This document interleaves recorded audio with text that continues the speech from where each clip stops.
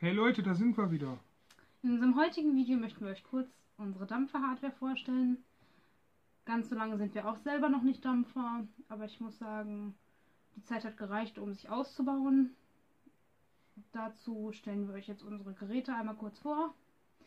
Beginnen werde ich mit der Carbox Mini, wo ich sagen muss, es ist wirklich ein Einsteigergerät.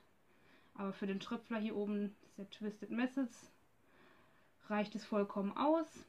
Das Praktische an einem Tröpfler ist, beim Liquid selber mischen, hat man ganz schnell die Möglichkeit, das Liquid zu probieren und bei Bedarf die Dosierung zu ändern, falls der Geschmack nicht so ist, wie man den haben möchte.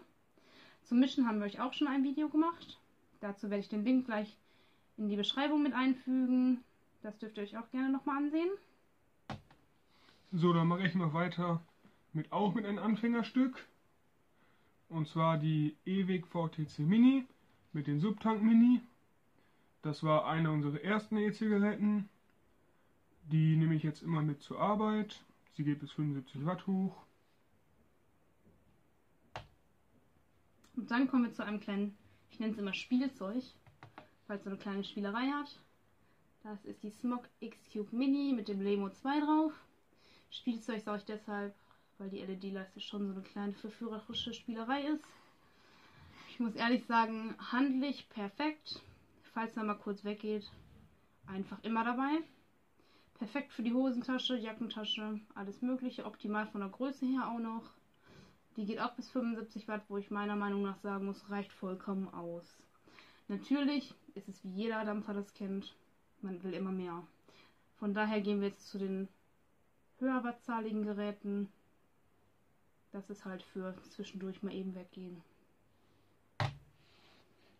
So, dann habe ich hier meine Carbox 200 mit den Smog TFV4.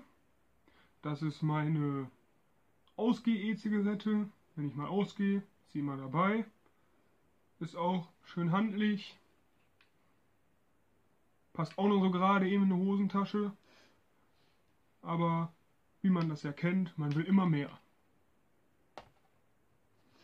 Dann kommen wir zur X-Cube 2. Natürlich brauche ich die große Schwester auch noch. Hier auch wieder diese LED-Spielerei. Ich bin ein Fan von, ich weiß auch nicht. Ja, praktisch hier sind die zwei Akkus. Ich habe die geupdatet bis 180 Watt. Wäre ich jetzt ein Junge, würde ich sagen, perfekt für die Hosentasche. Mädchen haben sowieso eine Handtasche dabei, von daher spielt Größe hier keine Rolle. Auch hier habe ich den Smog Tier V4 drauf mit RBA. Davon habe ich auch noch ein Video gemacht, beziehungsweise wir. Das kann ich euch auch gerne nochmal in der Beschreibung verlinken. Dürft ihr euch gerne ansehen. Ja. So, und jetzt kommen wir mal zu was anderes. Und zwar auf Nachfrage werden wir noch ein Video machen zu der Subbox Mini Starter Set. Nach Anfrage werden wir das mal vorstellen. Und ja, das Video wird bald erscheinen.